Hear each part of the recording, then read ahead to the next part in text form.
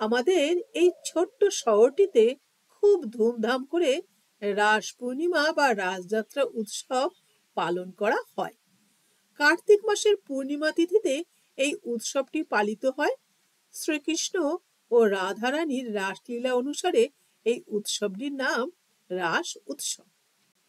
দুর্গাপুজো থেকে শুরু করে ভাইফোঁটা পর্যন্ত এই যে টানা উৎসবের আনন্দধারা চলতে থাকে সেই ধারাটি ভাইফোঁটার ঠিক পরের দিনই স্কুলটি খোলার কারণে ভেঙে একেবারে চূর্ণ বিচূর্ণ হয়ে যায়।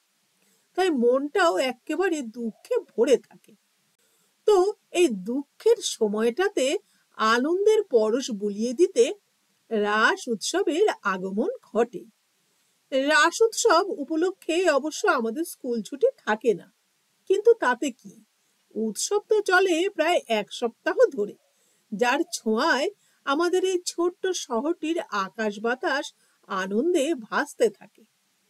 আমাদের শহরের আশেপাশের মধ্যে আর কোথাও এত বড় করে রাস পূর্ণিমার উৎসব পালিত হয় না। তাই দূর দূরান্ত থেকে লোকজন আমাদের এখানে এই রাস উৎসব বা রাজ দেখতে আসে। বিকেল থেকে ট্রেন, বাসে ভিড় বেড়ে যায় আমার বাবাকে এই দিনকটি অফিস থেকে ফেরার সময় বেশ কষ্ট করে রাস উৎসবের ভিড় ঠেলে বাড়ি ফিরতে হয়।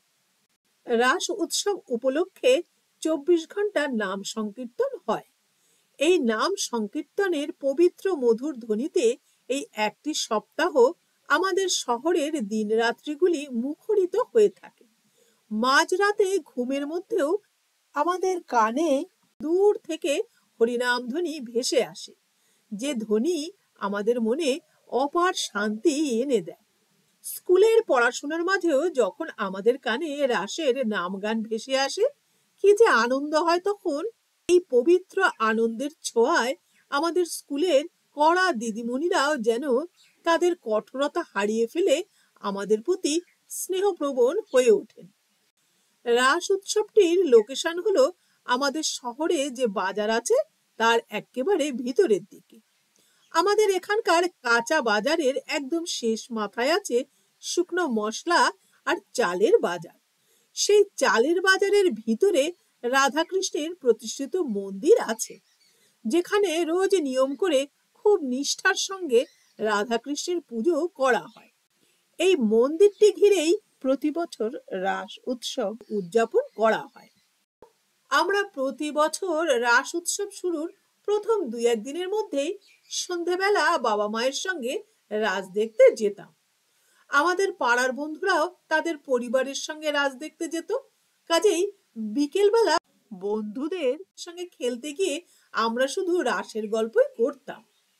খেলতে খেলতেই দূর থেকে ভেসে আসা মধুর হরিনামের ধ্বনিতে মন আমাদের পুলকিত হয়ে উঠত।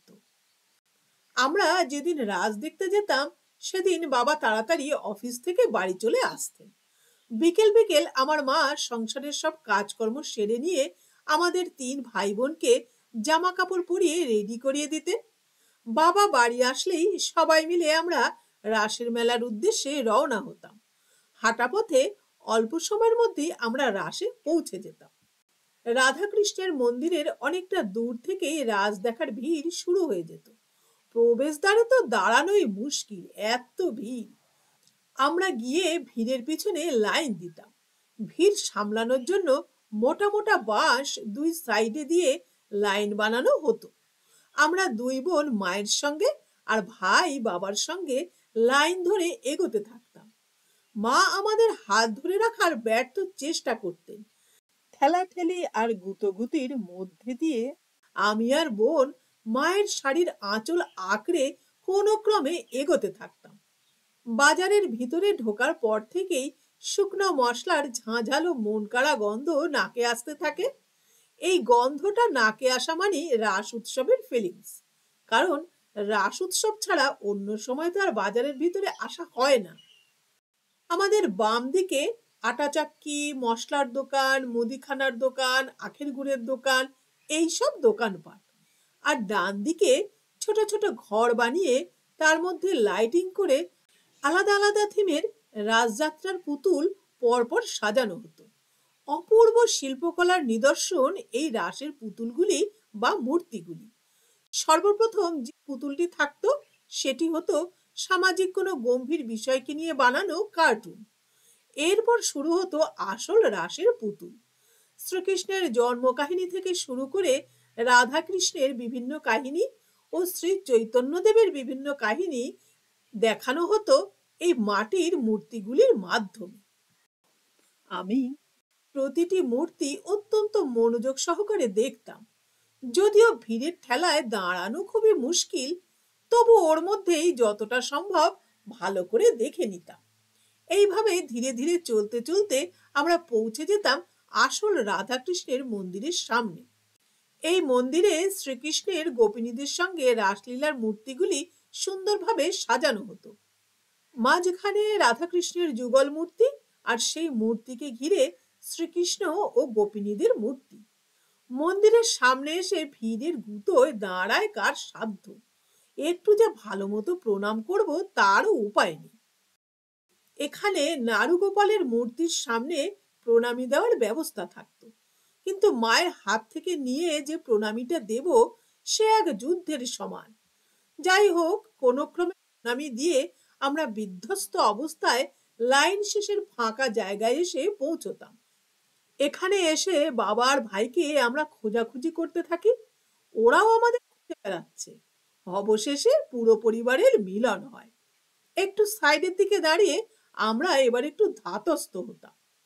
মন্দিরের সামনে অনেকটা ফাঁকা জায়গায় প্যান্ডেল বেঁধে নাম সংকীর্তনের ব্যবস্থা করা হয়েছে। এইখানেই পালা করে আলাদা আলাদা কীর্তনের দল চব্বিশ ঘণ্টা হরিনাম সংকীর্তন করে চলে। যেমন এখন রাসলীলা কীর্তন চলছে, প্রচুর মানুষ বসে বসে নাম গান শুনছেন।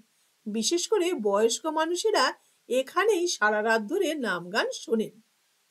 আমরা দাঁড়িয়ে দাঁড়িয়ে কিছুক্ষণ কীর্তন শুনলাম। যদিও আমার খুব ইচ্ছে করছিল ওখানে বসে বসে শুনবার।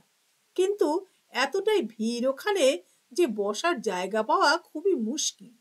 রাসের মেলা উপলক্ষে অনেক রকম দোকানপাট বসেছে। আমরা কিছু খেলনাপাতি এবং কিছু খাবার দাবার কিনে বাড়ি ফেরার রাস্তা ধরি। সত্যি বলতে আমার তো এখন একটুও বাড়ি ফিরতে ইচ্ছে করছে না। কারণ কালকে স্কুল আছে বলে এবং এখনও যথেষ্ট রাত হয়নি বলে আমাদের বাড়ি ফিরে গিয়ে এখন সন্ধেবেলার পড়াশুনোটা করতে বসতে হবে। তাই বাবা মা জোরে জোরে পা চালাতে বললেও আমাদের ভাই বোনেদের পা কিন্তু কিছুতেই চলতে চাইতো না।